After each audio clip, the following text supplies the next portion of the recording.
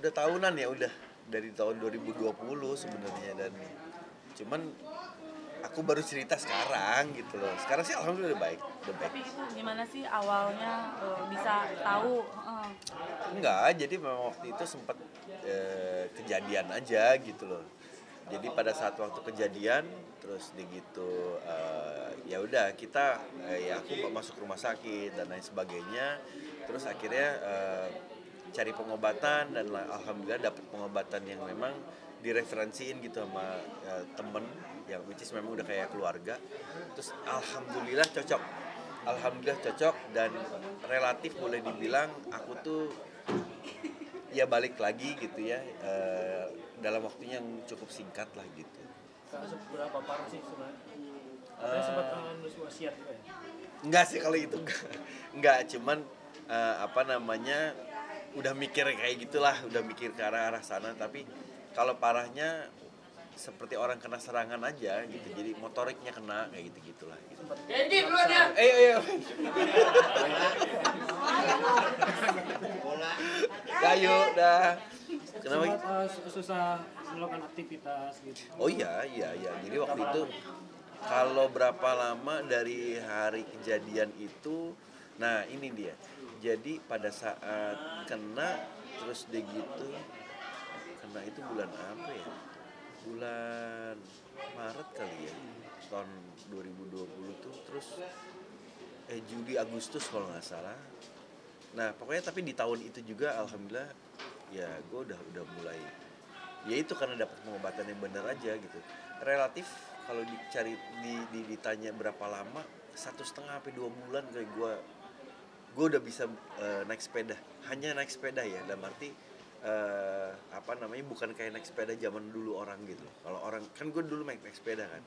Karena memang nggak ada apa-apa kalau naik sepeda yang orang normal mah manuvernya gampang gitu. Nah pada saat itu eh, karena keseimbangan yang keganggu jadi akhirnya pada saat waktu itu udah ngerasa sembuh ngerasa sembuh ya akhirnya gue untuk mencoba untuk eh, naik sepeda di kompleks gitu dan itu eh, saksinya waktu itu Mesia karena rumah kita kan deket gitu nah gue naik sepeda muter gue itu nggak kayak orang normal cuman patah gini aja tapi gue harus agak melebar gitu aja ya gitu ya.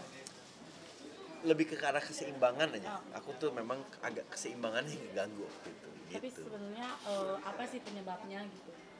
penyebabnya gini penyebabnya memang ada triggernya gitu kayak darah tinggi kayak gitu kan cuman memang eh, pikiran sih sebenarnya itu nomor satu kalau menurut aku ya pengalaman aku. Jadi mungkin ada stres atau apa gitu terus tapi terlalu ngebebanin eh, diri kita dengan pikiran yang berlebihan lah gitu. Walaupun emang ada trigger si darah tinggi. Kalau darah tinggi kan sebenarnya kalau misalnya memang kita maintain dengan obat dan lain sebagainya it's okay.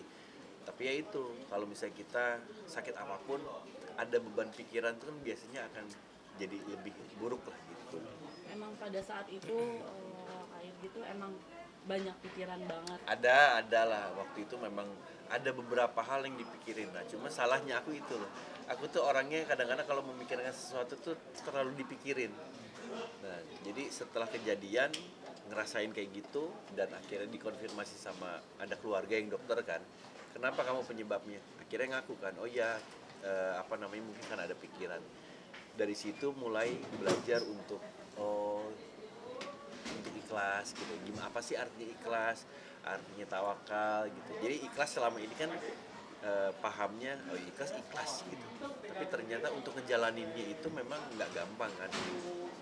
Makanya dicari tahu maknanya ikhlas tuh kayak apa sih berserah diri dan lain sebagainya. Jadi ada sesuatu masalah tuh nggak yang terlalu harus harus kayak harus kita selesain gitu serahin aja sama yang di atas. Apakah salah satunya soal karir yang terlalu dipikirkan mungkin yang enggak sih. enggak ada ah, gue nggak bisa cerita ya untuk masalahnya tapi ada beberapa hal gitu yang memang eh, apa namanya itu dipikirin. Tapi terlalu oh ini mikirin ini ini mikirnya begini ini terlalu banyak gitu. Terlalu memang waktu itu kebetulan kena masalah. Ada satu masalah yang memang eh, apa namanya lumayan berat lah ada dua masalah lah gitu. Nah jadi eh, akhirnya kena lah serangan itu. Apakah hal ini juga eh, akhirnya menga- eh, membuat karir ini lebih mendekatkan ke agama? Ya alhamdulillah itu sih ya. Jadi setelah pas udah uh, berangsur-angsur baik untungnya uh, mencoba untuk kayaknya gue harus benerin lagi ibadah nih gitu. Karena ya itu tadi karena basicnya masalah ikhlas itu tadi. Apa sih sebenarnya ikhlas nih gue apa sih namanya tawakal tuh kayak apa sih gitu? Ya udah mencoba untuk uh, apa namanya ngeringin ngeringanin aja gitu ada masalah. Karena setiap ketemu sama orang iya Gi masalah tuh nggak akan hilang-hilang gitu. Iya sih ya kan. Umur nambah tapi masalah akan terus bertambah gitu loh. Mau anak satu anak dua anak tiga sama aja gitu loh. Terus akan bertambah.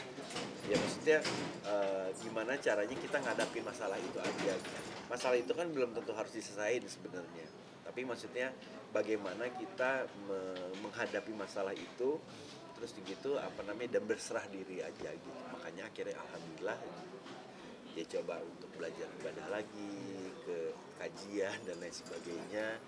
Akhirnya udah mulai rilis. Terus uh, uh, termasuk uh, katanya habis jumatan merasa lebih baik. Oh enggak. Jadi gini kalau orang pada fokus ke situ ya. ya jadi gini waktu itu juga ini uh, hal inilah yang akhirnya uh, gue tuh sempat diminta sama Daniel untuk Gi ngobrol dong Gi. Gue gara-gara lo ngomong itu gue tuh kepikiran terus kayak gitu. Oke jadi gini kejadiannya adalah posisinya waktu itu gue memang lagi bener-bener memang kena motoriknya kan kena motoriknya. Terus dia gitu uh, gue nggak bisa ngapa-ngapain lah gitu. Nah setelah pulang dari rumah sakit kebetulan ada uh, bokapnya temen lah gitu. Dia yang mereferensikan gue ke pengobatan. Ada satu pengobatan di Jakarta juga sebenarnya. Nah terus dia Gi kamu ikut om. Om masih ada di Bandung. Om pulang dari Bandung kamu keluar dari rumah sakit kamu ikut om katanya oke nah jadi akhirnya gue janjian tuh sama klinik itu nah terus gitu pas di klinik itu memang udah dikasih tahu oh oke okay, e, penyakitnya kan gini gini gini gini ini stroke nih gini gini gini gini. Dan belum ada waktu itu belum ada seminggu kan kejadiannya. Oh insya Allah dia bilang ini bisa nih kata gitu. Dia dia yakin aja kan. Nah akhirnya gue pikir ya udah gue ikutin aja. Nama ikhtiar kan nama ikhtiar. Nah hari pertama waktu gue ke sana itu gue masih inget banget karena gue maksain untuk bukan maksain memang gue gue sholat subuh lah. Gitu sholat subuh dengan bersusah payah lagi gitu. dan gue masih inget banget pada saat waktu gue takbir karena gue tahu kan tangan gue nggak bisa ngapa-ngapain sebelah kiri. Jadi pada saat takbir itu ya gue sedekap gini ya sebelah kiri gue angkat gitu kan. Itu subuh. Nah jam 9 pagi gue udah harus ada di sana. Jadi tapi tapi memang jalurnya adalah dari rumah gue gue ke rumah teman gue dulu dari situ baru kita berangkat sama-sama ke sana. Jam 9 pagi. Mulai diobatin itu atau mulai diterapi lah gitu. Jam 9 pagi sampai jam 10 dan itu memang harus dilakukan setiap hari selama 10 hari. Gitu. tapi ini baru hari pertama nih. Pas hari pertama itu itu tuh cuman dikasih ada uh, apa nama infus lah gitu ya memang katanya herbal dan lain sebagainya. Plus ada akupuntur di sini mungkin sekitar 20 biji lah gitu. Hari pertama tuh pulang kan? Pulang juga masih di papa sebenarnya. Nah pas pulang itu tuh gue nggak langsung pulang memang ke rumah temen dulu gitu. ke rumah temen yang referensi itu. Dan pada saat waktu pulang itu udah menjelang uh, sholat jumat. Pada saat itu akhirnya gue bilang sama bokap temen gue om saya ikut sholat jumat ya oke oke bawa bangku bawain iringi bangku dan lain sebagainya. Oke. Jadi pada saat di masjid ya gue duduk di atas bangku gitu khotbah dan lain sebagainya. Nah bagi gue itu mujizat yang datang ke gue alhamdulillah. Pada saat mulai sholat di situlah itu gue kagetnya. Tiba-tiba kan takbir wajar aja biasa orang itu. Allahu Akbar Allah. Ngangkat tangan gue gitu. Gue selalu nggak tahu kenapa setiap ngobrol itu selalu merinding gue karena uh, nggak bisa ngomong ya. Karena gue ngerasa dengan gue hilang sebelah itu kayaknya aduh udah gue deh udah tinggal nunggu waktunya aja gitu. Gue masya allah gue sampai yang Allahu Akbar dan itu gue berhenti. Ngangkat gue bilang gitu kan. Akhirnya gue ulang lagi takbirnya. Barulah di situ sholat. Sholat kan cuma dua rakaat pulanglah ke rumah. Ke rumah teman gue. Di situ gue ngomong om tadi kan tangan saya ngangkat emang kenapa dia bilang gitu? Kan tadi subuh nggak bisa. Bener kamu? Bener om. Gitu. terus kan saya masih inget om saya itu tadi subuh itu masih narik ini ke sini. Oh gitu dia bilang gitu? Alhamdulillah ya udah kamu semangat deh. Ini baru hari pertama kamu terusin. Mulai dari situ gue mulai ada harapan kan gitu. Wah kok tiba-tiba pengobatan ini menurut gue ya kok progresnya cepet banget gitu. Karena gue udah hopeless kan sebenarnya gitu dalam keadaan hopeless. Eh alhamdulillah kok gue masih kayaknya masih dikasih kesempatan. Mulai dari situ tuh mau dikasih pengobat misal ada yang ngereferensiin dan gue ngerasa ini masuk akal gitu ya gue berani tuh untuk diobatin ini diobatin itu. Tapi ya gue sih waktu itu fokus ke, ke pengobatannya di referensi sama temennya bokap itu. Ya udah akhirnya gue rajin rajin aja alhamdulillah progres itu ada terus gitu sehari dua hari tiga hari. Dan hari ketiga gue ketemu lagi nih. Satu adalah pengobatan akupuntur yang memang direferensi sama Mona Ratuliu gitu. Nah di situlah ada progres berikutnya. Bahwa itu juga aneh instan. Turun dari mobil gue masih nyeret. Terus begitu gue didudukin ditusuk sama si si dokter ini nih. Terus itu memang jauh lebih banyak mungkin ada 50 sampai 70 sampai nggak tahu lah di mana mana izin di, di- ya ditusuk-tusuk semuanya gitu ya. Terus dalam keadaan masih ketusuk gue disuruh jalan ngiterin meja makan. Di situ gue kok alhamdulillah ada pergerak ada ada tenaga gitu ada tenaga. Gue nangis di situ. Sampai si dokternya bilang kamu kenapa? Dok kok saya ngerasa ada tenaga gitu sedikit ada tenaga. Stepnya tipis-tipis sih sebenarnya terus dia gitu "Nah, terus akhirnya benar kamu. Iya dok. Dia gue disuruh duduk lagi. Nah pada saat itu dia tusuk lagi kan tambah lagi nggak tahu di mana mana ada yang di mulut lah ada yang mana mana akhirnya dia bilang coba kamu angkat gelas itu. Jadi gelas kaca gelas kaca yang kayak di tukang-tukang gitu loh. Disuruh pak ngambilnya pakai tangan kiri karena tangan kiri gue kan yang kena. Itu gue bisa begini loh. Wah itu masya allah deh. Gue yang ya allah ya allah. Gue cuma nggak bisa ngomong apa apa kalau gue ditanya kenapa bisa begitu? Cuman karena tangan Allah kalau menurut gue sih. Jadi gue pikir ya gue masih dikasih kesempatan aja udah gitu. Kalau Gitu. dari keluarga sama teman-teman gitu, ketika melihat gitu kakak seperti itu gimana sih? Ya mereka happy ya. Mereka mereka miss gitu. Karena gini dasarnya kan kalau kita ngedampingin sama orang yang mungkin punya penyakit kayak gitu tuh kita hanya bisa ngeliat kan tapi mereka nggak bisa ngerasain. Nah tapi kalau aku kan memang bisa ngerasain gitu. Jadi mereka cuma bisa oh gitu oh gitu kayak gitu. Bener gini kayak gitu kan. Tapi kalau yang ngerasain gitu jadi beda rasanya. Itu kenapa pada saat waktu eh, ada temen atau atau ada keluarga temen lah lebih banyak ya yang kena stroke aku bisa ngerasain itu yang aku waktu itu ngotot lah boleh dibilang pengen untuk ngejenguk Hilman Lupus almarhum. Kenapa? Karena pengen dialog gitu. Pengen dialog pengen ngobrol sama dia. Karena rasanya orang yang kena stroke lah gitu ya itu kan kena mentalnya. Terus dia berdialog sama orang yang mungkin ahli. Bukan yang gue ngecilin ya mereka paham pastinya terapis dan dokter lain sebagainya karena mereka punya pengalaman. Tapi kalau orang yang bisa ngerasain itu gue tahu banget rasanya kayak apa. Contoh soal gini deh terapisnya ya gue nggak ngomongin terapis yang lain-lain. Tapi terapis yang hari itu nanganin Hilman. Dia sempat ngomong begini soalnya iya nih Pak Hilmannya males nih gini gini gini gini. Di situ gue yang dia gue ngerasa apa ya dia bilang sedih juga enggak. Tapi maksud gue dia bukan akhirnya gue tanggepin. Bukan malas mas. Bukan malas tapi berat gue ngobrol sama Hilman. Man gue tahu rasanya kayak apa man. Hilman hari itu nggak tahu. Gue nggak pernah ngebocorin bahwa gue pernah ini kan. Jadi gue sebenarnya datang ke Hilman itu cuma pengen ngasih semangat. Tapi kalau bisa dia, dia kasih semangat sama orang yang belum pernah kena dia pasti nggak akan percaya. Akhirnya gue ngaku sama Hilman gue kemarin itu kena stroke. Kaget dia. Gitu. Terus gitu masa iya gitu. gue bisa ngerasain kok apa yang lo rasain. Maksudnya kayak misal lo nggak mau ini nggak mau itu gue tahu berat kan man iya gitu iya gitu. Gue tahu tapi semangat man karena cuman itu it- cuman itu yang bisa nyelamatin kita gitu. Makanya waktu itu ya cuman alhamdulillah. Ya ya, Hilman Hilman nggak sempet sampai sembuh ya. Makanya pada saat waktu dia ya dipanggil lah gitu wah gue nangisnya gerung ya lumayan lah gitu. Gue gue sedih banget lah gitu. Karena gue gue kayak kehilangan lah. Gue ada histori karena dia. Cuman ya balik lagi gitu. Kalau misalnya untuk masalah stroke tadi.